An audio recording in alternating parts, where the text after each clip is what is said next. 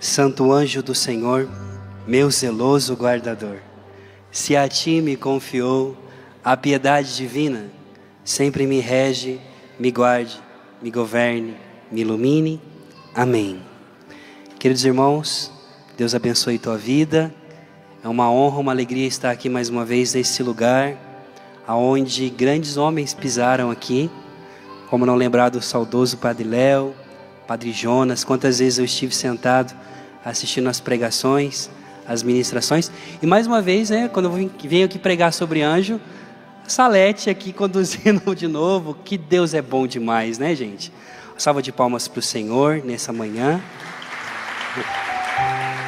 Louvado seja Deus.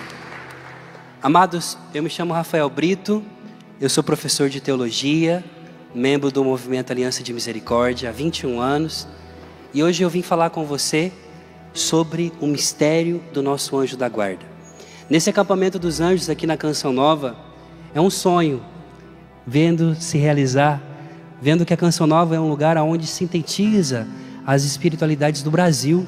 E nesse tempo de pandemia, mais do que nunca, nós vimos tanta gente que faz live e que invoca os santos anjos, e nós temos visto que realmente esse é o tempo dos anjos sobretudo para nós aqui no Brasil. E ver a Canção Nova sediando um acampamento, o primeiro acampamento dos anjos aqui na Canção Nova, para mim é uma síntese dessa espiritualidade angélica aqui, nesse território eucarístico. Então dê uma salva de palmas à Canção Nova, que acolheu os anjos aqui. Que coisa linda. Padre Jonas, Luzia, Eto, todos os que o conselho possam ser abençoados pela presença do Senhor. O anjo da guarda. No meu ministério como teólogo, como também missionário que faço nas redes sociais, a maioria das pessoas querem saber sobre esse mistério, sobre o anjo da guarda. Quem é o anjo da guarda? Como poder me relacionar com ele? Ele de fato existe? Por que ele existe? Por que nós temos um? E hoje nós vamos agora é, discutir a respeito disso. Eu quero que você se prepare, porque agora você vai entrar num mistério muito profundo de amor porque Deus, desde toda a eternidade, pensou em você, sonhou com você, e quando um desvio do caminho da parte do nosso primeiro pai Adão, Deus não quis que você ficasse sozinho nesse mundo, nesse vale de lágrimas. E por isso que você tem um irmão do céu para conduzir tua vida. Pega a sua palavra no Salmo capítulo 90, o famoso Salmo 90, o Salmo de proteção, aonde nós vamos rezar e eu quero que você possa, através dessa palavra, entrar no mistério da teologia do anjo da guarda. A palavra diz assim para nós: Quem habita na proteção do Altíssimo e pernoita sobre a sombra de Shaddai, dizendo ao Senhor: Tu és o meu abrigo e a minha proteção, o meu Deus e minha fortaleza, o Deus a quem confio. É Ele quem te livra do caçador que se ocupa em te destruir. Ele se esconde com suas penas e sobre suas asas encontras abrigo. Não temerás o terror da noite, nem a flecha que voa de dia, nem a peste que caminha na treva, e nem a epidemia que devasta ao meio-dia. Caiam mil ao teu lado e dez mil à tua direita, a ti nada te atingirá. A desgraça jamais chegará à tua tenda, e praga nenhuma te atingirá, pois em teu favor ele ordenou a seus anjos que te guardem em teus caminhos. Eles te levarão em suas mãos, para que teus pés não tropecem numa pedra então poderás pisar o leão e a víbora, o dragão e o leãozinho. Palavra do Senhor. Graças a Deus. Amados irmãos, quando nós falamos dos anjos, nós temos que olhar sempre para o mistério daquilo que Deus é. Aquilo que na teologia nós chamamos de mistério de Deus. Deus é Pai, Filho e Espírito Santo. Essa é a nossa fé. Nós professamos, e se nós pudéssemos sintetizar, todas as vezes que nós rezamos o creio no domingo e, sobretudo, na Páscoa, renovando a nossa fé na igreja, em Jesus, nós podemos dizer que o creio é a síntese do mistério trinitário. Deus, ao criar o mundo, o Senhor, ao movimento, nesse movimento eterno de amor, ao criar e chamar à existência todas as coisas, o Senhor veio até você. O Senhor se manifestou na tua vida. O Senhor veio até ti. E aqui o anjo entra como um mistério profundo. Deus, nesse movimento de amor, o Pai, o Filho e o Espírito Santo, aquilo que nós chamamos de o Deus Criador, o Pai que eternamente ama o seu Filho, o Logos, o Verbo, que eternamente se amam e esse movimento de amor da Santíssima Trindade que vai transbordando. Então, o Senhor faz algo que é da natureza dele, aquilo que nós chamamos de kenosis trinitária, Deus que se esvazia, o Senhor que vai para fora de si, porque quem ama quer comunicar esse amor. Quem ama, nós podemos ver, por exemplo, o exemplo de amor. O exemplo mais claro de amor que nós temos é o amor da nossa mãe. É o amor perfeito, mais que se, se aproxima mais do amor de Deus. Porque nós somos gerados dentro da nossa mãe, a nossa mãe nos alimenta, ela nos educa, ela cuida, e assim a gente vai aprendendo na vida da família. Ora, quando Deus cria o mundo, Ele cria a realidade visível e a realidade invisível. É assim que nós professamos. Nós cremos em Deus Pai Todo-Poderoso, Criador do céu e da terra, de todas as coisas visíveis e invisíveis.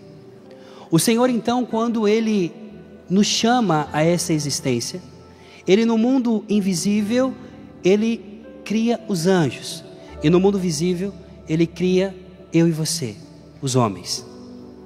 É muito importante a gente entender isso, porque de toda a criação que Deus fez, se você, por exemplo, olhar toda a criação que existe, por exemplo, no mundo visível, Alguns astrofísicos, como Geisel, por exemplo, diz para nós que existe a teoria dos universos paralelos. O que, que, é isso? Ainda não é aceito em total na comunidade científica, mas o universo pelo qual nós vivemos, ele não seria somente um, existiriam tantos outros. E só nesse universo, aonde nós estamos, provavelmente, segundo o cálculo desses homens, é, desses grandes cientistas, estariam mais de 200 galáxias. E a nossa galáxia, que é a Via Láctea, teria mais de 200 bilhões ou até mais de estrelas. E nós não sabemos quantos, porque ainda todos os anos eles descobrem alguma coisa. Agora você vai vendo toda essa grandeza, toda essa realidade do criado no mundo visível, sabendo que é quase, é claro que é finito, mas quase infinitamente você não consegue calcular quanto tempo, quantas coisas tem nesse universo Deus, ele em tudo isso, no meio dessa criação, Deus cria o homem. Deus coloca no centro do jardim, no centro do paraíso, o homem que ele chama então de Adão. Mas também naquilo que nós não vemos, naquilo que nós não vimos, aquilo que é invisível aos nossos olhos, como diz o apóstolo Paulo, o que os olhos não viram, o que os ouvidos não ouviram, é aquilo que Deus tem preparado para nós. Quer dizer, aquilo que nós não conseguimos expressar com a nossa sensibilidade é algo enorme, é muito maior do que aquilo que nós vemos. E no meio disso também Deus chamou à existência seres dotados de razão e de intelecto, a qual nós chamamos de anjos, que são seres espirituais. No concílio quarto de Latrão, o concílio quarto de Latrão, em 1200, professou isso: que Deus é o Criador do céu e da terra e Ele criou em realidades paralelas, mas ao mesmo tempo com a mesma convergência, anjos e homens, para que pudessem juntos caminhar na presença do Senhor.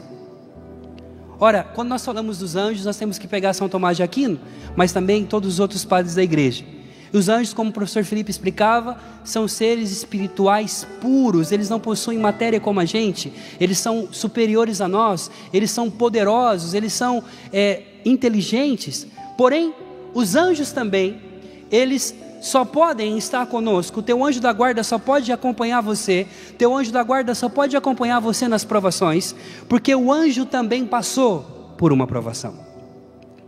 Lá na eternidade, ainda quando esse mundo visível não existia, Deus, nesse transbordar de si mesmo e querendo manifestar a sua glória, o Senhor chama a existência esses seres espirituais.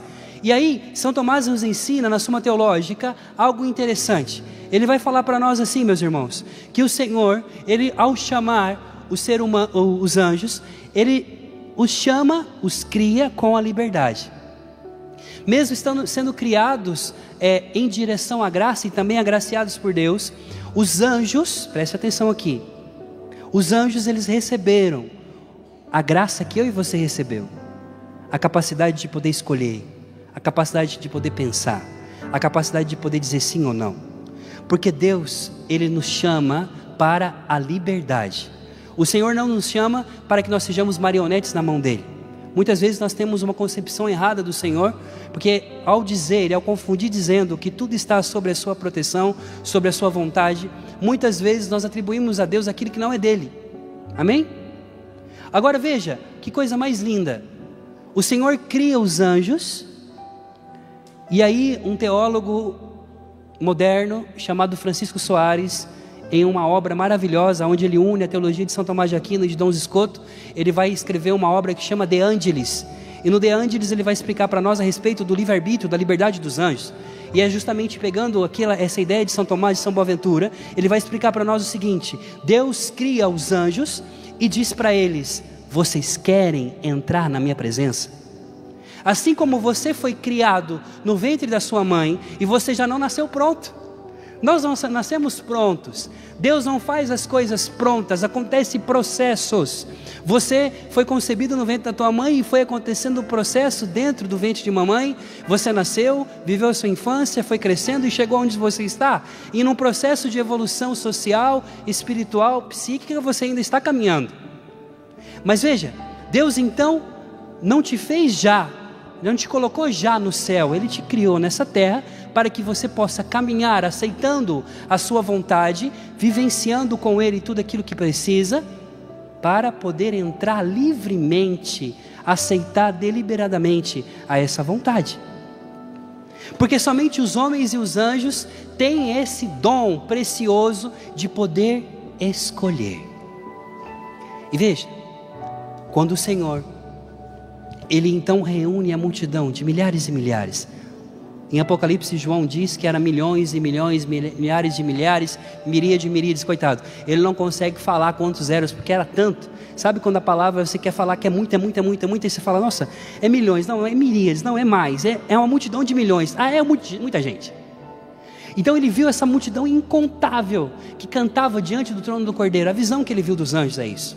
E é interessante quando você começa a entender que quando os anjos de Deus, presta atenção aqui, os anjos de Deus são criados, o Senhor os chama para entrar em comunhão com Ele livremente, como chama você. Mas entre os anjos existia um anjo, um querubim ungido, um maestro da orquestra do céu, aonde a tradição o chama de Lúcifer, porque ele era cheio de luz. E Soares vai pegar a tradição dos padres para poder explicar para nós sobre isso. Ele vai dizer que Deus revela aos anjos o seu plano, não somente da sua criação, mas também do seu propósito de se encarnar. Alguns padres, sobretudo os capadócios, os padres, eles vão dizer para nós que eles deixam subentendendo que o Senhor Jesus, ele se encarnaria independente do pecado. Muitas vezes a gente fala assim: Deus se fez homem porque nós pecamos. É errado.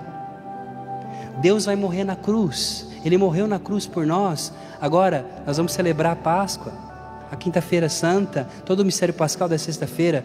Não porque você pecou. Deus morreu por você porque Deus te ama.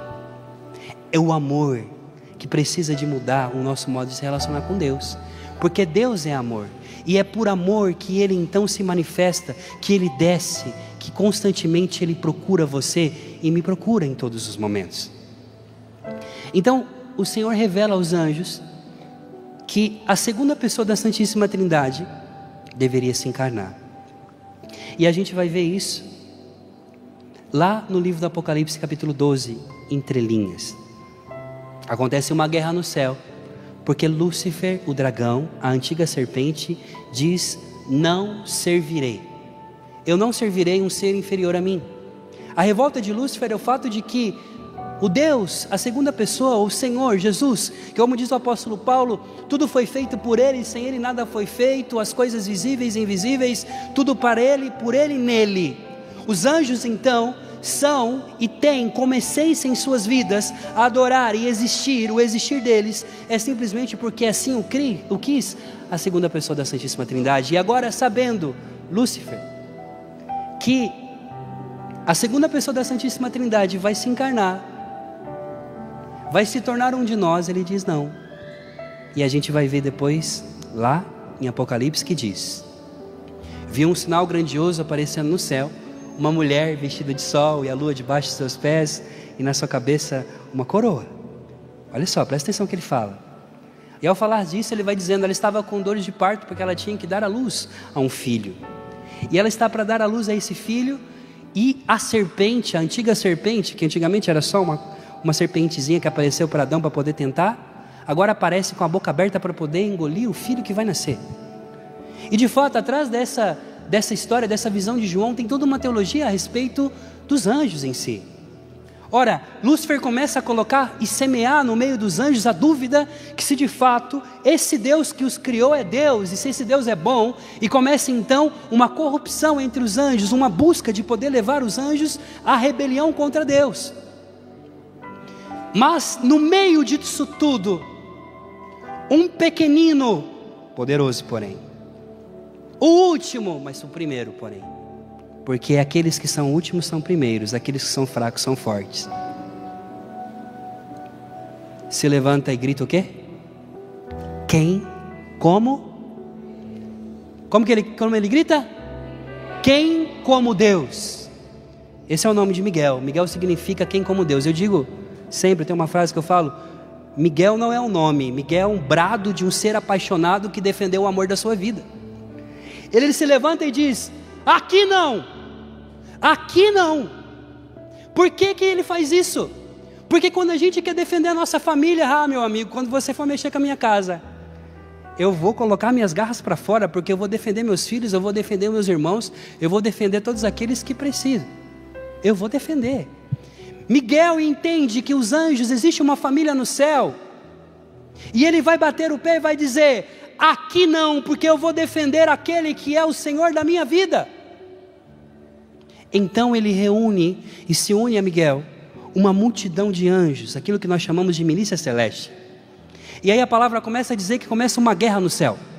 Miguel e seus anjos combatem contra quem? Contra o dragão e contra os seus anjos, e já não tem mais lugar para eles no céu. E começa essa guerra, os anjos combatem a favor de Deus e por causa da mulher. O, a grande guerra acontece justamente porque a mulher vai ter um filho.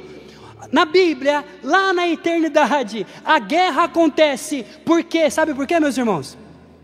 Porque já tinha um projeto de aborto. A guerra dos anjos é contra o aborto antes da criação. Porque Satanás queria abortar esse filho que iria nascer. Então eles começam a guerrear por causa da mulher, e é por isso então que Nossa Senhora é chamada a rainha dos anjos, Augusta, a rainha dos céus, porque ela tem poder sobre os anjos, porque os anjos, ainda antes de conhecer Nossa Senhora, eles já amaram a Virgem Maria sem saber.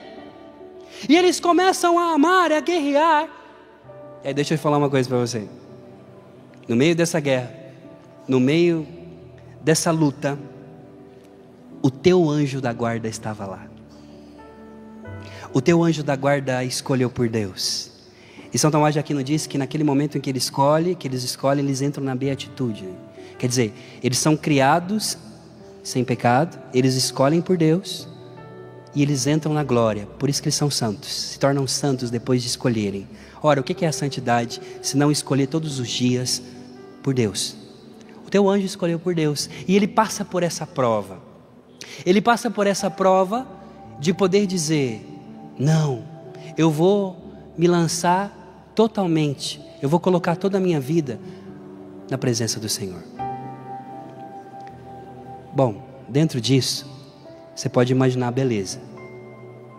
Deus desce na terra, cria o homem do solo, do pó da terra, e a gente vê depois o que, que Satanás vai fazer, porque o plano dele é destruir a natureza humana. Ele vem, tenta Eva e Adão, eles se perdem. E nesse, e nesse perder-se, e neles se irem embora, o homem sai do paraíso. E a primeira vez que se fala sobre anjo guardião na Bíblia é justamente no capítulo 3, quando diz que Deus colocou dois querubins para guardarem o paraíso, para que não pudessem ter acesso o homem ou ninguém mais a não ser é, os anjos em si mesmos. Eles ficam na porta. Agora eu te digo uma coisa. Presta atenção que eu vou voltar aqui. O anjo guardião do paraíso. Amém? É a primeira vez. Os anjos guardam o paraíso. Mas acontece então que Deus tem planos de amor por nós, porque Deus é amor e quem ama, quem ama cuida. Você é rainha, você é filho do rei, você é princesa, você é príncipe. E você não pode caminhar nesse mundo, apesar de ser esse mundo de vaso de lágrimas, de sofrimento, que nós não podemos evitar, porque faz parte da vida humana. Deus não quer que você caminhe sozinho nesse mundo. Então os teólogos falam para nós, os padres vão nos ensinar que lá no meio do céu, lá no meio dos anjos, nessa multidão que cantava, ó, eu pedi para o pessoal da música me ajudar para poder ajudar vocês nessa canção. Presta atenção, os anjos de Deus estão no céu e eles louvam a Deus, sim ou não? Sim? Eles compõem canções para Deus. Se você for ver no livro do Apocalipse, existem os hinos apocalípticos, que são hinos de adoração. Os anjos começam a adorar a Deus, agradecendo a Ele, porque Ele enviou seu Filho para nos salvar ao cordeiro imolado, e assim vai.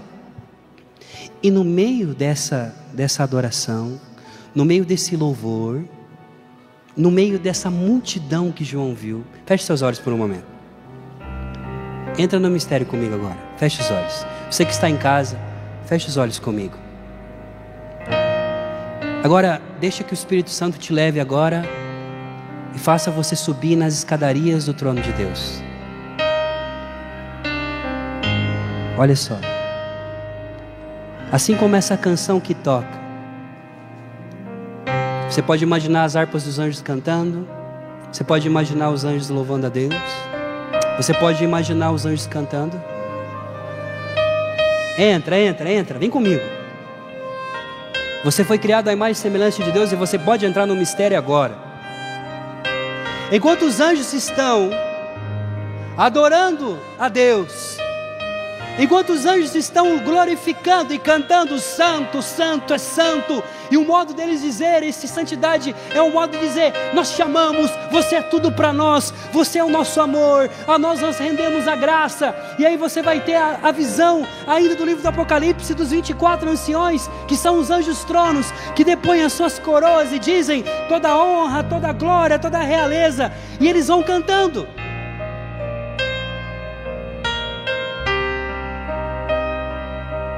No meio, em um momento na eternidade,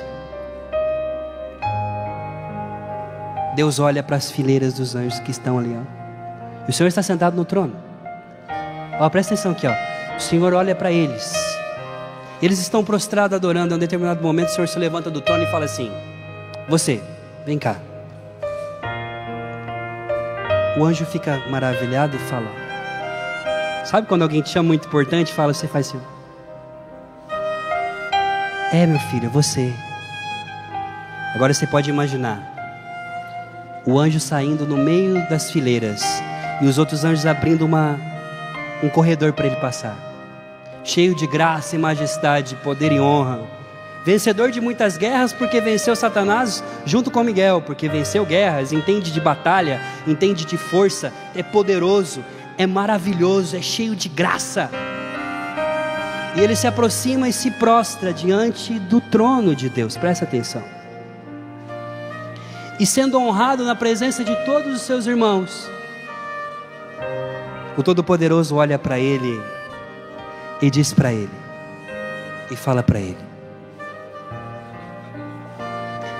Eu tenho uma missão para você. Será concebido na terra a Juliana, a Salete, o Rafael são filhos amados. Eles serão concebidos e eu quero que você faça uma coisa. Eu te darei uma missão. Você irá cuidar dele desde a concepção. Você não vai abandoná-lo em nenhum momento. Você estará com ele em todos os momentos de dor e de alegria, de sofrimento e de esperança. Você não vai abandoná-lo nem mesmo quando ele estiver em pecado, porque eu te dei a ordem para que você possa guardá-lo em todos os seus caminhos, pois em teu favor ele ordenou aos seus anjos que te guardem em todos os caminhos, sejam os caminhos certos, retos, tortuosos, os caminhos do Senhor, mas também os caminhos da perdição, porque o Senhor vai fazer com que o anjo te traga de volta, e ele está dizendo: desce na terra em honra e graça, fique com ele até o fim, e só volte aqui quando Rafael estiver aqui comigo. Deixa eu te falar uma coisa. Existe uma distância um tempo que na teologia nós chamamos de Evo, na eternidade. Entre a tua concepção e o envio do anjo. O anjo, ele é nos dado no início da vida. O Catecismo da Igreja Católica nos ensina isso, e para nós católicos a vida começa quando? Na concepção. Agora você imagina, veja isso: o anjo desce. Sua mãe não sabe que está grávida de você, porque acabou de acontecer a concepção, vai saber de algumas horas depois, porque a mulher começa a perceber a mudança no seu corpo. Mas quando a sua mãe não sabia, ninguém sabia, somente o céu sabia, e por vontade de Deus, por Deus que sonhou em te amar eternamente, por Jesus que entregou a sua vida por você, que deu e derramou o seu sangue por você. Agora ele veio e, e te chama à existência dentro do ventre da tua mãe. O teu anjo desce. E o teu anjo se prostra diante do ventre da tua mãe. E aí eu imagino, porque eu vou para o Salmo 138, gente. É lindo demais, porque no Salmo 138 o salmista diz assim: Senhor, tu me sondas e me conheces, tu conheces o meu levantar e o meu sentar, o Senhor sabe tudo de mim. Ele diz: Era o Senhor que tecia os meus músculos e contava os meus ossos dentro do ventre da minha mãe. Todo o processo da gestação. Presta atenção. Acontece o processo da gestação é algo maravilhoso. A ciência ultra-uterina é lindo. Você sabe que através da concepção do espermatozoide do óvulo acontece o sopro da vida. É ali que você começa a existir. Deus te cria ali. Ele sopra o ruá dele. O óvulo fecundado, ele vai se tornar zigoto. O processo: zigoto. Depois ele fecundado, ele vai ser nutrido por oxigênio. O útero da sua mãe vai se preparar para acolher esse embrião. O zigoto se tornou embrião. E, mas antes de se tornar um embrião, ele começa a dividir essas células em, em dois, quatro, 16, 32, se torna um embrião, depois se torna um feto, depois você tem os primeiros meses, o seu coração começa a bater, depois começa a formar os seus olhos e vai começando a formar durante os nove meses de gestação. Deixa eu dizer uma coisa para você. O teu anjo da guarda, ele permanece naquele momento. O teu anjo da guarda, ele se prostra e ele vê todo o processo de Deus realizando dentro do ventre da sua mãe essa maravilha da criação. E desde a concepção, você se torna duas células que se dividem e vai se tornando o, o zigoto, o embrião, o feto, e primeiro mês e segundo mês, e ele ali adorando, protegendo, rezando. Deixa eu dizer uma coisa para você, cara. Presta atenção aqui. O seu nome, a sua vida, fez parte das composições dos cânticos que o teu anjo da guarda fez para Deus. Você faz parte de um louvor, de uma adoração, do anjo que está adorando a Deus que está no trono, ao Todo-Poderoso, e que vai dizer: Digno és, tu és poderoso. Enquanto ele está adorando, ele não adora mais junto com os outros anjos, mas aqui embaixo, junto, cuidando, guardando, protegendo você. Que coisa linda. E a gente não consegue entender esse mistério. A gente não consegue perceber que isso é muito grande. Você é tão importante que pessoalmente você tem uma guarda. E quando nós olhamos aqui para o Salmo 90, o Salmo começa a dizer assim: Quem habita na proteção do Altíssimo e mora debaixo da sombra do Onipotente, dirás ao Senhor teu Deus: Tu és o meu refúgio, a minha proteção, é Ele que te esconde sobre as, tuas, as suas asas. Então deixa eu dizer uma coisa para você. O Senhor ainda é o teu guarda que não dorme? O anjo da guarda, antes de guardar você, ele é guardado por Deus, porque ele participa da guarda daquele que não dorme. Antes de ser poderoso, ele é poderoso porque ele participa do poder de Deus. Aquilo que a teologia nos ensina, que os anjos, os anjos de Deus, são poderosos porque participam da onipotência do Senhor. Então o meu anjo da guarda só pode me guardar, porque antes ele está debaixo das asas do Altíssimo. Ele é o meu anjo guardião, porque ele tem um Deus que o guarda, e é por isso que ele vai para a batalha. Sabe quando a gente era criança, alguém mexia com a gente, a gente falava, vou chamar meu pai. E não mexe comigo não, porque se meu pai vir, vai ficar feio pro seu lado. E é assim que o anjo faz. O anjo não tem poder por si mesmo, ele participa do poder de Deus, ele também é dependente do Senhor, ele o ama profundamente. Então, quando Satanás mexe com você, ele se põe em disposição, em ordem de batalha, com a espada desembainhada na mão, com a mesma espada que ele expulsou os demônios do céu, e diz: Aqui você não mexe, você não vai mexer com o meu irmão. É por isso que eu digo que nós somos irmãos de anjos. Nós somos irmãos de anjos por quê? São Tomás de Aquino diz uma frase muito linda, ele diz: O céu é uma sociedade perfeita, uma cidade. Nessa sociedade, ela existe, ela é feita de homens e de anjos. E Santa Delgarda de Bingen dirá: a partir do momento em que Deus entregou um anjo da guarda para poder cuidar da minha casa, de cada um de nós, ele constituiu os anjos membros, partícipes da minha família, da família humana. Deixa eu perguntar para você: Quantas pessoas você tem na sua casa? Levanta as mãos, levanta o dedo. Lá em casa nós é em quatro. Vocês são em quanto? Ai, quantas, quantas pessoas vocês têm? Lá em casa é eu, a Lília, minha esposa e meus dois filhos. Mas eu quero dizer para você que não é quatro. Vocês são em oito. Multiplique isso por dois. Porque o anjo da guarda de cada pessoa que está na sua casa faz parte da sua família. Dê uma salva de palmas para os anjos da tua casa.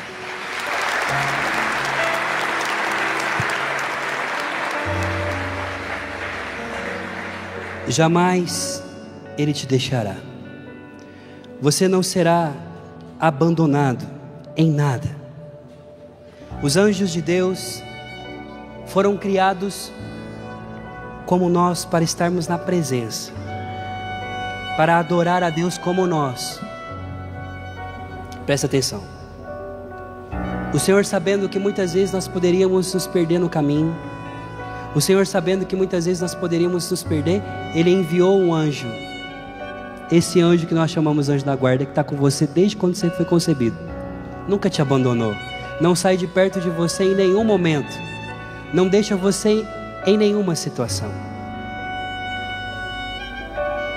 Esse anjo da guarda, ele será o seu guardião. Ele será seu amigo. E aí, uma das coisas que as pessoas mais perguntam para mim, Rafael, como que eu faço para ser íntimo do meu anjo? Foi pensando nisso que eu escrevi o meu segundo livro, esse livro aqui que eu estou lançando agora, oficialmente para vocês. O mistério do anjo da guarda, um companheiro para toda a vida. Você já pode adquirir pela loja Canção Nova, já está disponível, você pode adquirir aqui. Eu vou também depois fazer os autógrafos para vocês que estão aqui. Você pode adquirir meu livro. Aqui eu falo sobre o que a igreja ensina sobre o anjo da guarda. O anjo da guarda, ele deseja se relacionar com você. Ele é um ser pessoal, ele é um ser real. O anjo da guarda, ele vai cuidar de você em todos os momentos. E foi pensando, se você olhar aqui, esse anjo está com as asas abertas, porque casas abertas para dizer para você que você tem lugar debaixo das asas da proteção dele. Então adquira esse livro, assim você também vai ajudar a canção nova é, e também a evangelização da, da comunidade. O anjo da guarda, ele nunca nos abandona. E a igreja nos ensina que ele será o nosso companheiro. Olha só, ele recebeu a missão de ficar com você desde a concepção. Ele conhece tudo sobre você. Ontem nós celebrávamos a anunciação de Nossa Senhora. E a gente vê o arcanjo Gabriel. O arcanjo Gabriel que tem também, que é um arcanjo, poderoso significa força de Deus.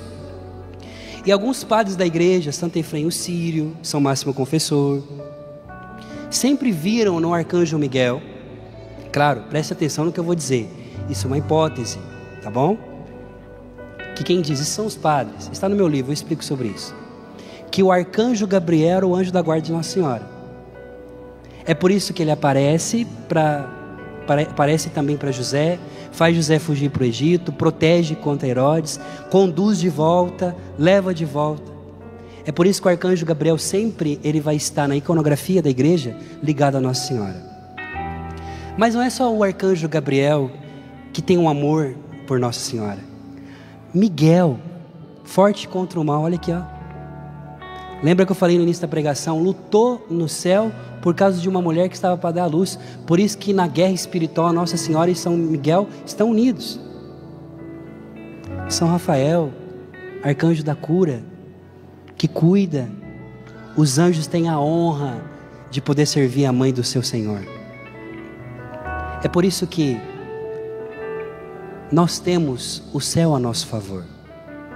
Quando Jesus entregou Nossa Senhora como nossa mãe, a partir daquele momento, Jesus, pelo seu sangue, está dizendo: Mamãe, eu estou entregando para a senhora os meus irmãos. Mas nós temos irmãos no céu. Irmãos também que, assim por vontade de Deus, o Senhor quis que pudesse estar conosco. São Gregório Magno, ele quando vai falar para nós, por exemplo, das ovelhas perdidas, da ovelha perdida, que sai e vai embora, e o pastor que vai atrás, ele faz uma interpretação muito bonita. Ele diz: Esse pastor que vai embora, essa ovelha que vai embora e o pastor vai atrás, essa ovelha que vai é Adão, que se perdeu. E as 99 ovelhas que ficam são os anjos. Aí a gente entende quando Jesus fala: há mais alegria no céu por um só pecador que se converte, a ovelha que se perdeu, do que de 99 justos que não precisam de conversão. Ora, quem não precisa de conversão é anjo. Então Gregório Magno fala: o bom pastor, ao ver que o homem se perdeu daquele aprisco do lugar, da mesa, onde homens e anjos foram criados para estar juntos, o Filho de Deus desceu, o bom pastor veio, pegou-nos nos braços, colocou-nos aqui. E cantando feliz, fazendo festa no céu por causa da tua causa, os anjos estão fazendo festa nesse dia, aqui na Canção Nova, porque você vai voltar para casa, porque você faz parte de uma família, porque você faz parte de uma família junto ao Pai, sentado à mesa, anjos e homens no mesmo lugar. Teu anjo da guarda permanece com você. Teu anjo da guarda intercede, luta, combate, enfrenta qualquer mal por causa de você. E eu quero ler uma oração linda que eu traduzi no meu livro, que São Henry Neumann, São Henry Neumann, que foi antes anglicano e depois se converteu, se tornou cardeal, e ele hoje é santo da igreja. Ele escreve uma oração para o seu anjo da guarda, eu quero que você preste atenção. E a oração chama Meu Velho Amigo. Olha o que ele escreve para o anjo da guarda dele. E aqui está a síntese dessa pregação. Meu velho amigo, amigo desde o primeiro momento do sopro da minha vida, meu amigo fiel serás sem me trair até a minha morte. Repete comigo: meu amigo fiel serás até a minha morte. Aí ele continua: Sempre estivestes perto de mim. O meu Criador te confiou a mim quando apenas a minha alma era formada a este bebê proveniente do pó. Nem o fervor do coração na oração, nem a fé retamente formada me deram tutores como São José ou Miguel em sua potência conquistadora. Ele está dizendo: nem Nossa Senhora, nem São José, nem São Miguel, a eles foram confiados porque eles são maiores e poderosos, são superiores ao anjo da guarda. Mas não, fui confiado, eu fui confiado a você, por primeiro. Nem um santo patrono, nem o amor de Maria, o mais caro e o melhor, me conhece como tu conheces a mim, nem mesmo me abençoou, nem outros amores como você. E ele continua: Você me levou até a fonte do batismo, e cada ano que se passava, ias murmurando no meu ouvido de criança as primeiras verdades da fé. E quando a adolescência foi ultrapassada e o meu espírito rebelde cedeu, ei Rafael, quando você perdeu com 12 anos, nas drogas, quando se desviou do caminho, quando se esqueceu que era filho, como não pensar do Senhor que me conduziu até aqui hoje? E ele diz: quando na adolescência fui ultrapassada e o meu espírito rebelde cedeu, você viu tudo também e tremias comigo quando enfrentávamos o espírito infernal. E então, quando a culpa e o juízo me vinham e o terror me dominava, o teu doce sopro apressava em sanar as minhas penas. Ó oh, anjo da guarda, quem poderá tecer por inteiro todas as tuas fadigas e dificuldades que passastes comigo? De fato, no fim da minha vida, tu te inclinarás sobre a minha cama, e na hora da minha morte, quando se estenderem as sombras da minha vida, tu, na dúvida e na paciência, e também na tristeza, será meu guardião, meu amigo, e quando estarei diante do meu juízo, amigo meu, e serei poupado e conseguir resistir ao fogo da purificação, e meus pecados forem consumidos, meu amigo, irmão da minha alma, quando chegar o dia da minha libertação. Gente, isso é muito lindo, cara. Então os teus braços se levantarão, e as tuas asas me levarão àquela lareira, do lugar secreto da eternidade, onde junto com Deus cantaremos para sempre. Santo, Santo, Santo. Esse é teu anjo da guarda.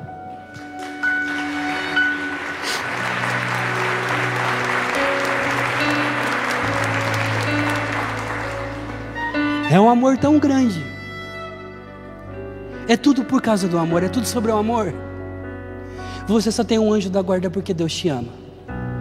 Você só tem um anjo da guarda porque Deus não desistiu de você. Você tem um anjo para enfrentar todo o inferno por causa de você. Nesse acampamento da Canção Nova hoje eu quero profetizar, declarar em nome de Jesus sobre a tua vida que você não está mais sozinho que as tuas lutas, que as suas convicções, você não tem vivido sozinho, os teus anjos, os anjos de Deus têm acolhido as tuas orações. Quero contar uma experiência para você. Eu passei por um tempo muito difícil quando eu vivia na missão na Itália. Estava em crise. Vivi na Europa 15 anos em missão, foi onde me formei, aonde dediquei grandes anos da minha vida como missionário na aliança. E nós fomos, eu casei com a minha esposa e nós fomos em missão já viver na Itália. E nesse tempo que a gente estava na Itália, eu fiquei numa ilha, nesse tempo estudando, e eu sempre quis evangelizar, pregar, anunciar o evangelho. Viajei para muitos países, mas naquele tempo o Senhor me, me colocou no quarto. Falou: vai ficar aqui agora, você não vai viajar mais, você vai estudar. Porque eu quero que você estuda para levar conhecimento para o meu povo. E eu comecei a entrar um pouco em crise, porque de alguma forma a minha essência na missão é pregar, é ensinar. Então, em setembro de 2017, eu fui em Roma, eu morava na Sardenha, eu fui em Roma e fui rezar no túmulo de Pedro, de São Pedro. E sempre me chamou muita atenção porque Pedro foi um homem, além de ter sido muito íntimo de Jesus, de ter morado com Jesus, de conhecer o Senhor, o apóstolo Pedro, ele também conhecia os anjos. Você vai ver isso nos Atos dos Apóstolos: um anjo o liberta da prisão, um anjo lhe apresenta a casa de Cornélio, enfim, ele vai viver com os anjos também. Então eu me lembro que eu estava diante do túmulo de Pedro, ajoelhado, rezando, e eu comecei a falar para Pedro assim: Pedro, me confirma na fé. Eu quero voltar a pregar, eu quero voltar de novo a anunciar o Evangelho, porque quem anuncia o Evangelho, saiba de uma coisa: anunciar o Evangelho é missão de anjo. É Gabriel que anuncia a boa nova à Virgem Maria. E Deus deu esse ministério a nós, pregadores, a você batizado para anunciar Jesus. A canção nova, de um modo especial, tem esse ministério. Então, eu estava ali ajoelhado, rezando. Eu dizia: Me manifesta a sua presença na minha vida mais uma vez, Senhor. Pedro, intercede por mim. E eu pedi ao meu anjo da guarda que pudesse acalmar as minhas aflições naquele dia. Quando eu terminei a oração, o guarda responsável da basílica, os guardas suíços, vieram e falaram assim: moço, tem que fechar, vamos embora. Falei, ah, agora que eu estava me empolgando aqui na oração, né? agora que eu estava entrando no mistério, não, vamos embora. Então, quando eu saio, eu pego o telefone e tinha mais de 18 chamadas não atendidas. Eu fiquei desesperado. Jesus, aconteceu alguma coisa em casa. Era um amigo, o Michele, né, um amigo meu, que disse: Rafael, a irmã Emanuele, da, Emanuele lá de Medjugorje, vinha para fazer, fazer uma palestra na igreja aqui de São Marcello ao Corso, ela não pode estar mais. Você pode substituir ela? Fazia dois anos que eu não pregava. Eu saí direto do túmulo de Pedro e fui para essa igreja. Igreja lotada. Ali eu preguei. Ali foi lindo demais. E foi através disso que nasceu o núcleo da comunidade da aliança que nós temos hoje lá em Roma. Passou-se o tempo e eu sentia a presença do anjo da guarda, eu sentia esse amor pelos anjos, porque eu comecei a perceber que Deus estava se manifestando.